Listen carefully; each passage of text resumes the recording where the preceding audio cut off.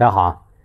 呃，布林肯呢在访欧结束以后呢，与欧盟发表了这个联合声明啊。美国与欧洲的发表声明啊，同意重新启动有关中国的双边对话，共同努力应对俄罗斯挑战啊。美国国务卿布林肯呢与欧盟外交事务高级代表布雷尔周三二十四号发表声明，说美国和欧洲同意重启有关中国的这个双边对话。并共同努力应对俄罗斯的具体具体有挑战性的啊行为。他们呢都认为与中国的关系是多边的啊，包括合作、竞争和系统性竞争。那两位部长在布鲁塞尔会议期间讨论的其他问题包括气候行动合作啊、新冠病毒疫情、伊朗、土耳其。那布林肯与博雷利啊会后发表联合声明，宣布重启美欧中国对话。声明称，三月二十四号，布林肯与博雷利在布鲁塞尔举行会晤，讨论如何加强美国与欧盟的关系，并协调应对优先外交政策、安全和经济问题。他们还承诺在面对全球挑战时进行合作，包括应对全球气候危机、结束新冠病毒大流行、促进可持续的经济复苏以及捍卫民主价值和基本自由，包括在多边机构内。会议期间，双方决定重启对华双边对话，为此啊，为以为以此为论坛全面讨论相关挑战和机遇。他们承诺，双方共同承认啊，与中国的关系是多方面的，包括合作、竞争和系统性对手等因素。他们还决定继续在对话框架下举行高级官员和专家级会议。讨论包括经济问题在内的对等啊、复原力、人权、安全、多边主义以及气候变化等与中国进行建设性接触的领域等议题。声明称，布林肯国务卿和博雷利高级代表确认，可信的多党民主、保护人权和遵守国际法支持印太地区的稳定和繁荣。双方的目标是合作促进安全、可持续、自由和开放的海上供应路线的供应链。并期待着与志同道合的伙伴在利益和方法交汇的地方啊深化合作。两位负责人还讨论了美国和欧盟在气候行动方面的伙伴关系，以及合作提高全球雄心，使世界在2050年之前走上啊净零排放的道路。布林肯周三稍早啊与北约盟国的这个外长也会面啊，随后发表演说，强烈谴责中国广泛使用强迫措施。并敦促北约盟国与美国合作，加强对中国的抵制。布林肯呢，首先批评了中国日益增长的军事野心。他说：“啊，我们看到中国威胁航行自由，在南中国海进行军事化，以及针对印度太平洋地区相关国家利用他们日益升级的军事能力。北京的军事野心逐年增加，伴随着现代化技术，这些挑战似乎曾经相隔半个地球，但如今不再遥不可及。”布林肯还强调，中国的行为对美国及盟友造成安全和经济上的威胁。他指出，毫无疑问，北京的强迫行为威胁着我们的共同安全和繁荣。他正在积极努力破坏国际体系的规则以及我们与盟国共同价值观。布林肯也表示啊，在应对诸如气候变化和健康安全等共同挑战方面，美国及盟国啊与中国仍有合作空间。但他也呼吁北约在北京。胁迫某一个盟国时站在一起。他说：“我们知道我们的盟友与中国的关系很复杂，并不总是与我们完全一致。但是我们需要共同应对这一挑战。这意味着我们的盟国啊，我与我们的盟国合作，缩小技术和基础设施等领域的差距。北京正在利用这些领领域施加强制性压力。”布林肯呢？你可以看啊，在北约的讲话和与欧盟，呃。博雷利发表的这个联合声明，都提到了欧洲要和美国进行联合，啊，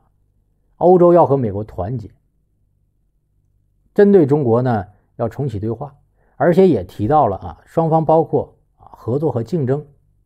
并不完全是什么啊竞争，也并不完全是博弈，而是还有合作，啊，美欧在合作方面也要同中国，对吧？合作。另外呢，美欧也要团结起来，一同同中国合作。针对俄罗斯呢，提到的就是什么？应对俄罗斯的挑战。所以可以看啊，在欧洲方面，俄罗斯还是美国最重要的一个挑战啊，也是美国和欧洲。所以我觉得中国呢，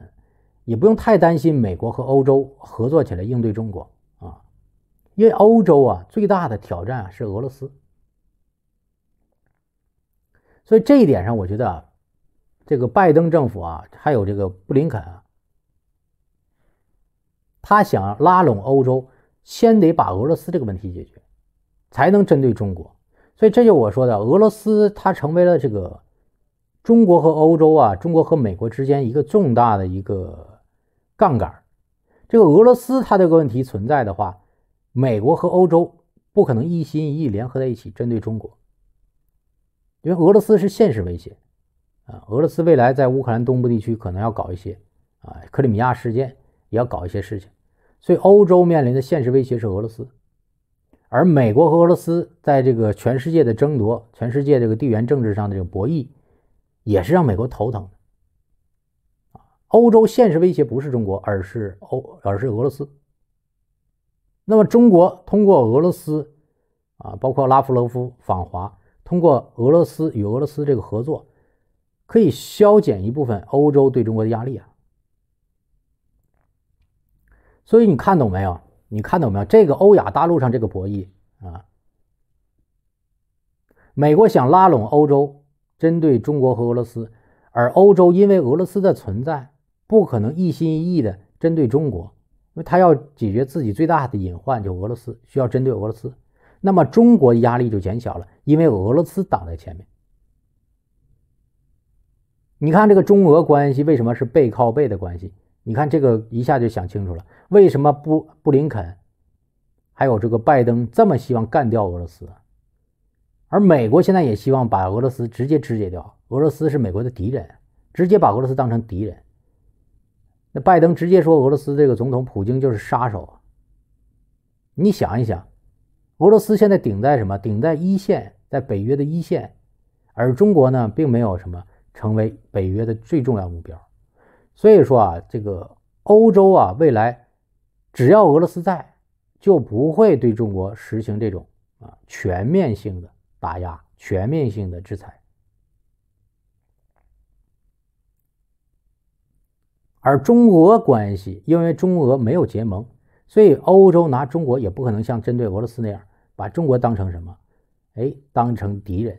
如果中国和俄罗斯结盟了。那欧洲反而会一心一意的要消灭中国，因为你俩是结盟了，结盟是一体的，结盟是一体的话，我就要消灭你们，消灭俄罗斯，带着也要消灭中国，而中国不选择和俄罗斯结盟，你看出来了吧？中国这个智慧，中国如果和俄罗斯结盟，反而啊，中国也危险了。那美国就希望中俄结盟，结果中俄就不结盟，这回你看懂了吧？中俄不结盟，反而让美国很难针对单一国家，针对中国或俄罗斯进行全方位的制裁。所以说，美国呢有它的优势啊，就大西洋啊，还有意识形态方面，大西洋的这个连接啊，几百年了，但是也有难处，就是在欧亚大陆上，美国并没有一个支点，它唯一在欧亚大陆上能够形成的支点是谁呢？是欧洲，但欧洲国家呢？又因为俄罗斯不可能跟啊跟中国进行冲突，而美国未来最长期的敌人又是中国，在欧亚大陆其他地方找一找支点，美国现在没有找到，美国没有找到，东北亚地区找日本，日本是它一个支点，但是日本离中国大陆又太远，它不可能登陆到欧亚大陆上。在中东，以色列是它的支点，以色列能影响中东，但是以色列毕竟太小啊，又没有它的支点。它只能在中东放火，但是它啊没有支点，所以你看啊，欧亚大陆这种地缘政治关系，美国在欧洲是它唯一的支点，利用大西洋两岸关系，他说话好使。但是呢，因为俄罗斯的存在，阻挡了美国向欧亚大陆腹地啊向腹地发展它的地缘政治优势。中国呢，在东南亚也阻挡了美国的这种地缘政治优势，对吧？东南亚那些国家，最多也就新加坡啊、马来西亚，像这种小国家，日本呢，啊，孤悬海外的这些小个国家，它跟美国有点关系，但是美国绝对不能把他们当成是支点。如果当年啊，我说当年如果美国能把中国呀，真的能把中国这个拉成盟友，对抗苏联、肢解苏联，那我觉得美国会把中国当成什么？当成个支点啊！但是现在说回来了，苏联也绝对不会让啊中国投靠美国，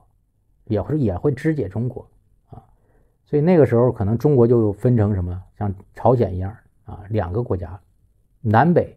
分成两个国家。所以有时候你看地缘政治，二战以后那个时候时候，为什么啊中国的这个新中国成立了，是个统一的，就因为地缘政治，苏联也不能希望美国在欧亚大陆、东北亚地区出现一个支点，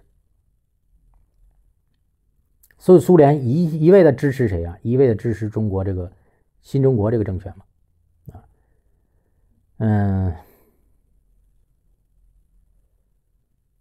布林肯和欧洲啊。他的这种合作呢，我觉得也只是发表一个声明，并没有实质性的，所以咱们也不用太担心啊，不用过于担心。呃，美欧之间矛盾还很多，特别是我说的北溪二号，另外土耳其啊，土耳其是欧洲其实非常麻烦的一个啊，它离欧洲近，对欧洲也非常了解，但是呢，欧洲对它又非常警觉，土耳其会未来成为欧洲啊地缘政治里边一个变量。俄罗斯也正是利用土耳其埃尔多安啊，打破北约的合作，利用德国打破欧盟内部的合作所以说，我觉得欧盟现在呢和这个布林肯啊发表这个联合声明，不管这个联合声明内容怎么样，实际上都是给拜登啊给拜登一个定心丸，是双方意识形态方面还是会合作，但是未来具体怎么样？具体针对中国和俄罗斯要怎么做，还要看欧洲内部的利益啊，利益的分配，就是你美国能不能拿出真金白银。所以我觉得没必要担心。嗯，那今天给你讲了一个地缘政治，你也可以看到了啊，美国利用欧洲这个地缘政治影响欧亚大陆啊，切割俄罗斯和中国以后呢，